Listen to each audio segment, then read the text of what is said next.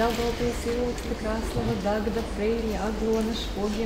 Brigāžu atbalsta centrā Daugavpils ir 23 brigādes, kas nosedz plašu teritoriju, to starp pierobežu. Savukārt notiekošais karš Ukrainā centra vadītājai liek gan just līdzi kolēģiem, gan mācīties. Mums ļoti sāp sirds. Asaras nāk, mēs pārdzīvojam par medikiem no Ukrainas, par Ukrainas cilvēkiem. Tas ir ļoti sapīgi un arī tas māca mūs. Mēs esam gatavi. Jā. Tas ir mūsu moto - gatavība, rīcība, dzīvība. Tas ir mūsu moto uz šo gadu. Un tiešām mums ir ļoti daudz apmācību.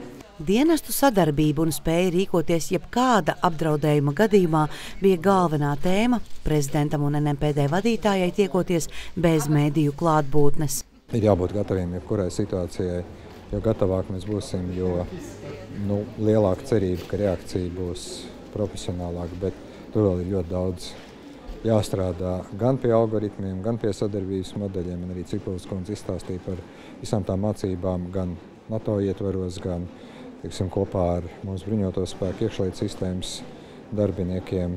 Protams, ka ir vēl vesela rinda lietu, pie kurām vienkārši jāstrādā, gaisa transportēšana un citas lietas.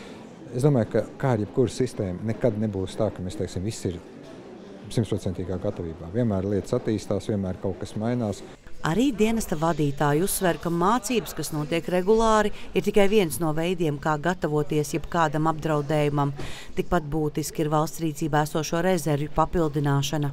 Mēs daudziem riskiem nevaram būt gatavi, bet mēs katru dienu vērtējam tos jaunos, ko mēs varam pacelt, gan personāla apmācību ziņā, gan plānošanas ziņā, gan sadarbības principu uzlabošanā, gan, protams, arī resursu piesaistīšanai, kas viens no lielākajiem izaicinājumiem. Jāsaka, nesen ir piešķirts finansējums arī valsts materiālo rezervju atjaunošanai tiesa veselības aprūpas nozarē, kas ir ļoti būtiski. Pēdējos gados tas ir pirmais nopietnais piešķīrums.